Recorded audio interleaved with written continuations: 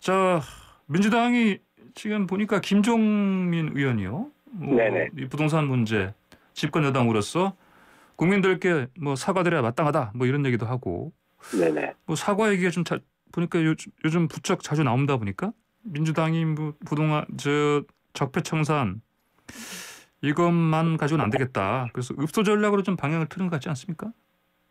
그렇습니다. 지금 현 정부 들어서 한 25차례 정도 부동산 대책을 내놨는데요. 예.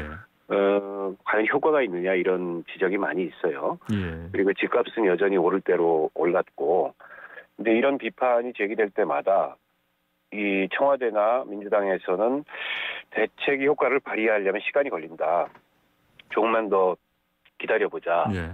오히려 어, 이 정부 정책을 흔들려는 그런 투기 세력들의 의도가 그런 비판에 어, 담겨 있다. 이런 식의 반론을 펴왔군요. 예. 근데 정작 투기는 어떻게 보면 바로 정권의 그 등잔 밑에 어둡다고 이 정권 아래에 있는 그런 공공기관의 종사자들로부터 발생이 됐고 LH뿐만 아니라 뭐 공무원이라든지 정치, 정치인이라든지 이런 연루 가능성도 지금 광범위하게 확대가 되고 있고 그로 인해서 민심이 매우 악화됐는데 또 이렇게 악화된 민심을 수습하기보다는 여러 가지 좀 부적절한 그 선거 국면에서의 발언들이나 이런 것들이 있었습니다. 예를 네. 들어서 임종석 전 청와대 비서실장이 부동산 문제는 아니지만 예.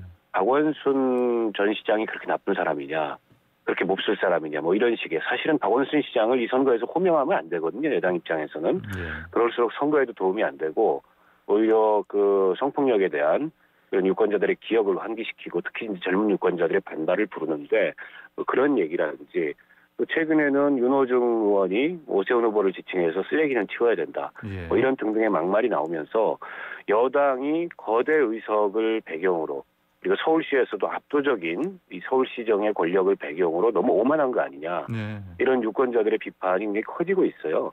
그런 점을 의식해서 가장 지금 민감한 선거 이슈가 돼 있는 이 부동산 정책부터 어, 여당의 정책 방향에 대해서 좀 반성적인 평가들이 나오고 있는데 제가 보기엔 좀 늦지 않았나. 아.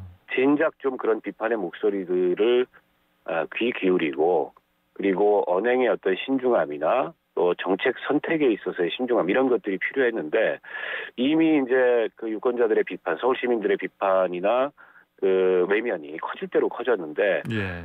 지금 이제 그런 반성들이 좀 늦게 나오는 게 좀 아쉽습니다. 그 임종석 전 실장 같은 경우는 사실 보니까 뭐 그 대선을 바라보고 이런 저 발언을 내놓지 않나 이런 뭐 분석도 사실 나오고 있고요. 근데 대선을 바라본다는 거는 네. 자기 정치 차원에서 그렇게 했다는 그럼, 건데 예, 그렇죠. 그로 인해서 지금 서울시장 선거에 굉장히 큰 악재가 됐고 음. 특히 20대 여성이라고 하는 과거의 문재인 정부의 굉장한 지지 기반이었던 네. 그 20, 30대 젊은 여성들의 표심이 완전히 돌아섰거든요. 예. 그러면 자기 정치를 위해서 지금 이 서울시장 선거라는 큰 선거에서 당이 혹은 박영선 후보가 희생해도 된다. 예. 라는 식의 판단을 했다는 건데 그거는 이른바 이제 원팀 정신에 어긋나는 거죠. 예. 자, 그 이왕 그 얘기 나왔으니까 뭐 최근에 그 손병관 기자가 뭐 비극의 탄생이라는 책을 썼어요 보니까요. 이 네네. 그 이건 원래 이 제목은 저 그 니체 책 아니었습니까 유명한 책? 그렇습니다. 네. 그래서 분과했더니 또 이것도 역시 박원순 전 시장 얘기해 보니까. 근데 그 책을 제가 아직 읽어보지는 음. 않았습니다만 예.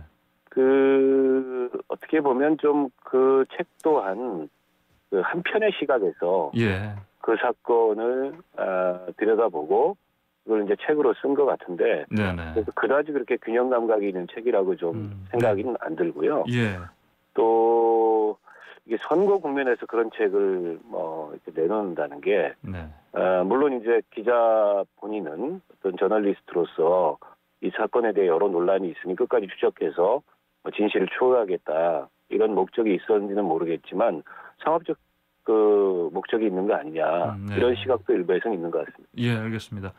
자, 부동산 정책 관련해서 그 홍익표 저 민주당 정책위장이요. 그 어, 그 주택 구입자들이지 않습니까? 네, 그 뭐 LTV, 그 담보 인정 비율이죠. 그다음에 DTI. 이거 같은 그 뭐그 대출 그 규제 이걸 좀 완화하겠다 이런 얘기를 했습니다. 이 시점에 이게 지금도 예. 장기 무주택자나 네네. 생애 최초 주택 구입자에 대해서는 10% 대출을 더 받을 수 있는 네. 아, 그런 제도가 운영이 되고 있는데 예. 이걸 조금 더 완화하겠다는 거죠. 음. 아무래도 이게 이제 그 부동산 시장에서 대출을 옥죄다 보니까 아 이게 뭐 갭 투자라든지 가주택자라든지 이런 사람들에 대한 규제로서는 의미가 있는데 예.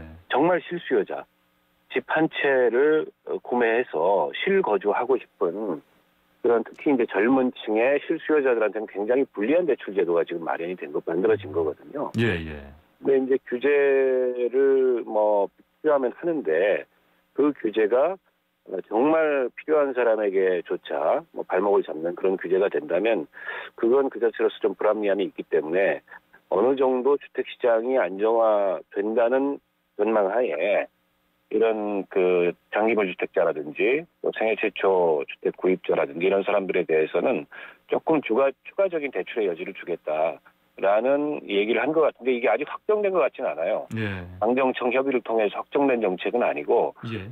아마 민주당의 생각인 것 같고요 현재로서는 네. 그리고 이제 선거를 앞두고서 워낙 지금 부동산 민심이 나쁘기 때문에 아, 일종의 이제 선거 앞둔 유권자들을 향한 아, 득표 전략 차원에서 이런 걸 검토하고 있는 게 아닌가 싶습니다. 예, 예, 알겠습니다. 그 말씀하시니까 또 이 4차 재난지원금 처음 얘기 나왔을 때도 사실은 또 야당에서는 그렇게 또 사실 비판했습니다. 이 뭐 선거. 앞두고 이게 뭐냐 그래서. 근데 이제 어제 대통령이 청와대에서 그 공회의 주재했는데 네. 그 4차 재난지원금 신속한 지급 주문했고 뭐 또 추경 이게 포용적 회복에 도움 된다 이런 얘기를 했습니다. 일단 4차 재난지원금이 지급이 시작됐고요. 예, 지금 벌써 이제 4차까지 재난지원금이 오다 보니까 예, 그 사이에 어느 정도 행정적인 노하우가 축적이 돼서 예, 제가 들은 얘기로는 지급 속도 굉장히 빠른 걸로 알고 있습니다. 예, 오전에 신청하면 오후에 나오는 정도로. 예, 근데 다만 이번 이제 4차 재난지원금조차도 그 코로나19 기간에 영업 손실을 봤던 어, 이 중소상인들을 대상으로 주로 지급이 되고 있고 또 장기간 일을 못했던 그런 비정규직 어, 노동자들을 상대로 지급이 되고 있는데 예, 아, 실질적인 코로나 19로 인한 피해에 비해서는 뭐 충분한 정도의 보상이라고 보기는 어렵죠. 예, 어, 때문에 어느 정도 회복에는 전 도움이 될 거라고 봅니다만 그보다 더 중요한 건 어, 지난 임시국회에서 국회에 그 자영업 손실보상법이 여러 개가 제출이 됐어요. 예, 그리고 이제 소급 적용을 하느냐 마느냐 이제 이런 논란까지도 빚었었는데 그 얘기가 지금 쑥 들어갔단 말이죠. 네, 네, 그리고 지금 서울시장 후보들도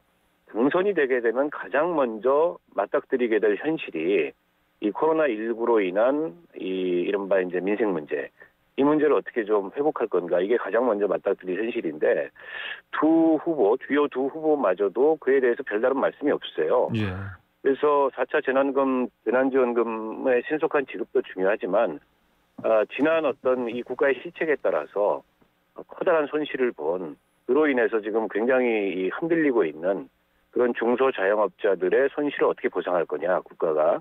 이 문제에 대해서 빨리 국회가 이 대안을 마련하고 제도화하는 게 더 중요하지 않을까 싶습니다. 알겠습니다. 좀 마지막으로요. 시간이 좀 얼마 안 남아서 짧게 어제 그 TV 토론 있지 않습니까? 서울 그 시장 후보들이요. 어떻게 보셨습니까? 두 분 다 워낙 뭐 방송에 익숙하시고 말씀을 잘하는 분들인데 예. 너무 사실은 이게 서로에 대한 네가티브 공방에 치중하다 보니까 음, 정책이나 정작 시민들이 알고 싶은 서울 시정에 관한 그런 후보자들의 입장 같은 거는 거의 토론에서 다뤄지지 않아서 예. 굉장히 좀 싶고요. 예. 이제 토론이 한 번 정도 더 남은 걸로 알고 있는데 제가 이 말씀을 꼭 드리고 싶습니다. 예. TV 토론에서 상대방을 이기는 게 중요하지 않습니다. 유권자들에게 그 TV 토론을 지켜보고 있는 국민들에게 당신의 입장을 설득하는 게 저는 훨씬 더 중요하다고 생각합니다. 예. 그런 점에서 한 번 더 남은 토론은 두 후보께서 좀 서울 시민들을 위한 생산적인 토론을 해주셨으면 하는 예. 바람을 말씀드리고 싶습니다. 예, 알겠습니다. 말씀 여기까지 듣겠습니다. 고맙습니다. 고맙습니다. 네, 지금까지 박원석 전 의원이었습니다.